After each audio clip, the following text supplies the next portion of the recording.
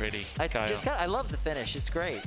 Six, five, Four, three, two, one. Fight robots, fight.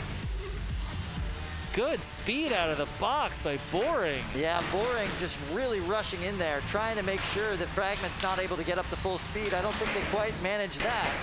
But they are still able to get underneath Fragment with those long forks.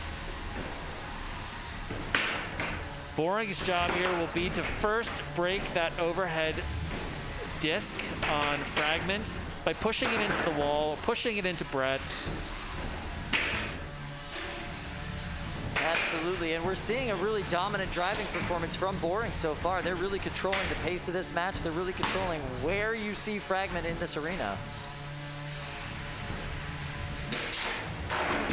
Oh, Boom, that's that was a, nice good little hit. launch into the wall from Boring. That is exactly what Joe wanted to do right there. And now Fragment is on its head and again it needs to try and self-right violently without breaking itself. But it looks like Boring, is it moving? Is Boring's drive dead? Yeah. Kyle, I'm not seeing movement. Uh, we're gonna need to see some motion from Boring. Fragment doing everything they can to self-right. Definitely not controlled movement from Fragment, but we see their drives work. There we go. Five, four, three, two, one. That is a knockout. Fragment.